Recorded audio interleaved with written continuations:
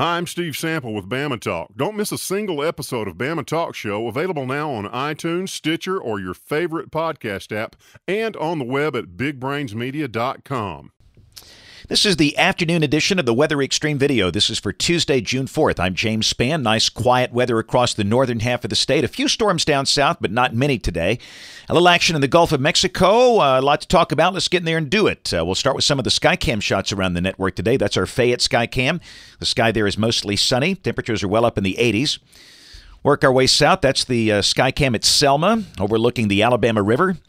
Partly sunny and Hey, look at that uh, thunderstorm off in the distance over the Gulf of Mexico. That's seen from the Skycam at the Dauphin Island Sea Lab. Had a few storms down there today, but very widely spaced. Weather looks good for the rest of the week. Generally speaking, especially from Gulf Shores over to Pensacola, Panama City somewhat in question. That depends on the tropical system down in the Gulf. Uh, there's the big picture. The primary westerlies are north of the state, as we expect in June. Tropics are getting active. Temperatures are in the mid to upper 80s in most spots. Birmingham 88, Cullman at 83, but you go down south, Montgomery's got 91. And about the only thing happening over North Alabama is that mystery echo on radar. What is that? That was captured at 257 uh, from the Weather Service radar at Hytop. And uh, at this point, uh, we were showing this echo over Redstone Arsenal.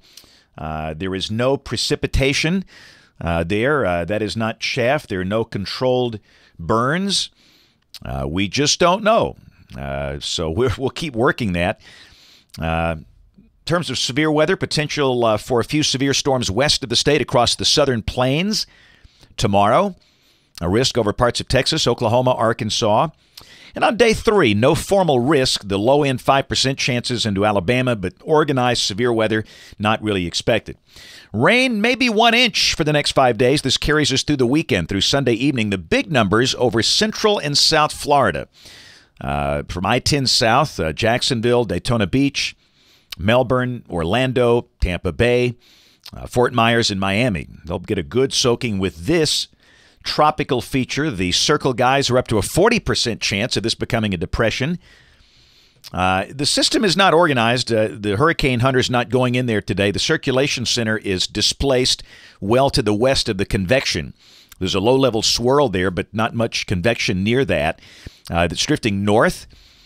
Uh, modeling, generally speaking, wants to take it now somewhere into the Florida panhandle. But remember, this is not a hurricane. It won't be a hurricane.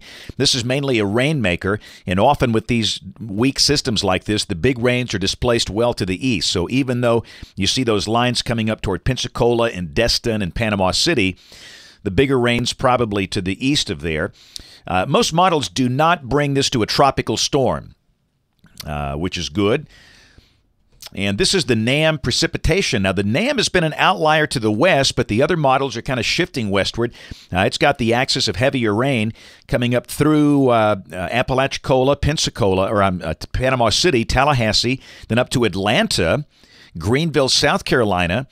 Asheville, North Carolina. My gut says the, that axis of heavier rain might be a little east of there. But clear one way or the other, the big rains from this feature should be east of Alabama, at least this part of the state. Let's go through modeling. This is the GFS. This is the 12Z run, valid at 1 o'clock tomorrow afternoon at 500 millibars. Westerlies are up north, upper low over Minnesota. Uh, down below that, moisture begins to come back. We'll bring in the chance of a few scattered afternoon showers and storms tomorrow. Uh, the high should be in the 80s. Go to Thursday. Uh, the tropical low is moving toward uh, Florida. We've got a pretty deep moisture axis here, so again, cloudy at times, scattered showers and storms, not going to rain all day. This is Thursday night, just after midnight, 1 a.m. Friday morning, and the GFS kind of splits the tropical low. It's got one piece hanging back over the Gulf, another piece coming up toward Charleston, and a broad low over Alabama.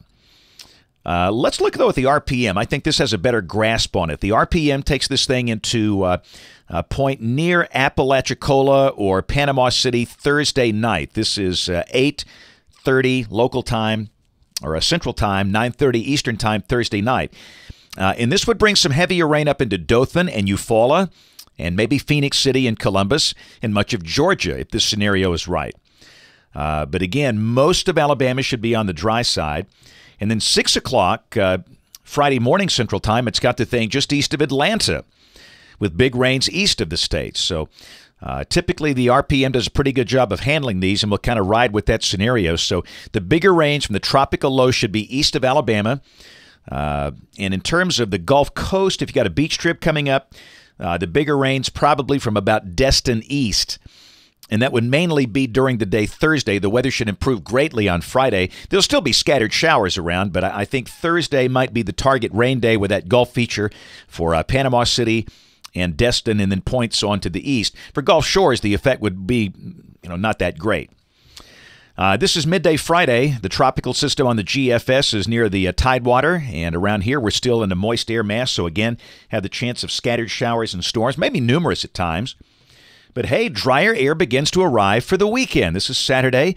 The showers pushing way down to the south. The northern half of the state should be dry. And Sunday looks mostly rain free for this part of the world. Mostly sunny with a high maybe approaching 90.